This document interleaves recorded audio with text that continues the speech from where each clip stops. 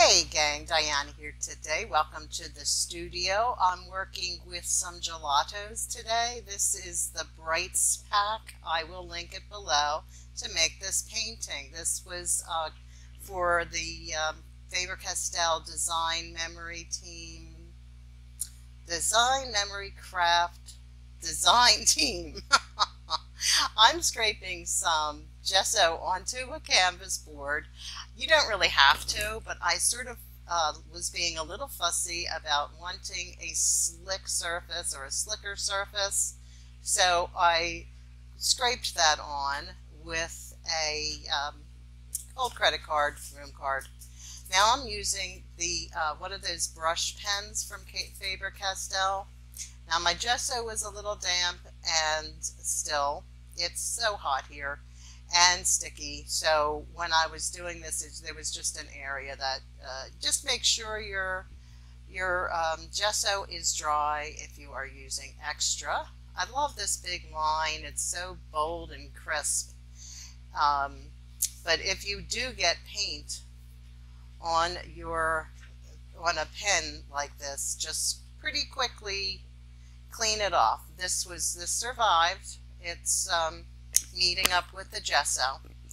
And I did start this. You can see I'm varying the size, sizes and the shapes of these roses. I'm calling these roses. And I started up at the upper left and I'm moving into the lower right. And now I'm doing some, you know, just, I guess you would call it overlap, but I'm just drawing that, drew that little rose as if it were behind the other roses. That always convinces people of that this is a bunch of flowers. I'm starting off with a dark green gelato just all around the roses. And again, I did have a little trouble with the Pitt pens, which are completely permanent, just not quite drying in the humid air in Philadelphia.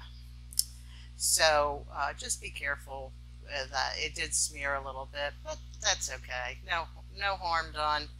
And pushing the gelatos around. I'm experimenting a lot in this piece and um, keeping uh, the darker green close to the to the field of flowers and then spreading the lighter green out here I am mixing the darker green, which I think is called lime, and this is blackberry to make a darker, even the darker color.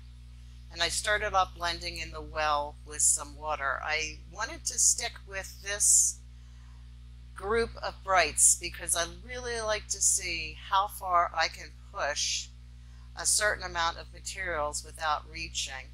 So that didn't work so well. I got that nice uh, Faber-Castell palette knife and mixed it to the mixed those colors to the side with a little bit of water and that's on palette paper which is very handy to have in the studio. It you could use freezer wrap. Doesn't hold up as long. And I'm just going into those those tiny little areas to push those back into the shadows. Up, oh, see? My pen still wasn't dry. It is so humid here. It's almost like uh, living in a cloud. But um, anyway, here we go. I'm sure there's more humid places on the planet than Philadelphia in July. Uh, you can tell me in the comments. And here again, I'm smushing. I'm using the dense piece of foam that comes in packaged in with the gelatos, and I really liked this. If you don't like getting your fingers um, dirty, um, painty, I don't mind that myself. But if you don't like to, this is a nice tool. Just scrub it off before you go into another color. And here I've got a, a little stencil and I'm just removing some of that background cover. You can, if you wanted to, you could really remove all that color, all that gelato's color, and um, with a damp cloth or a baby wipe, but I just wanted to knock it back a little bit. just so it doesn't really compete with the flowers as the focal point, but just adds a little something something to your background.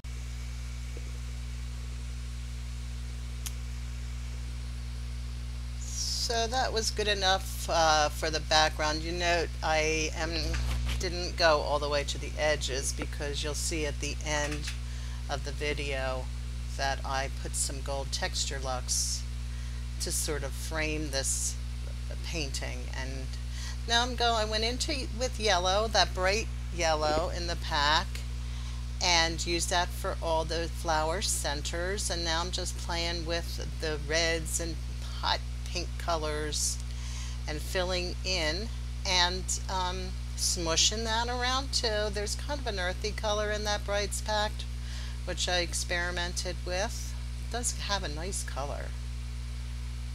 Yeah, just remember to keep your fingers clean if you're using this or your tool clean. And then, um, so I went ahead and filled in all of those roses next and uh, come back with, you'll see in a minute that I have a uh, binder's awl, uh, any sharp object will do. And I'm just going to be scratching lines into that, right into the gelatos. It just brings it down to canvas and this was another reason I didn't want the gelatos to stain the canvas. I wanted that barrier so there's my wiping off my fingers, wiping off the gelatos. I think you can see here what a nice detail that scraping back with the binder's awl or a sewing needle or what have you has. It really gives it some uh, a little more interest and I hope you enjoyed today's video.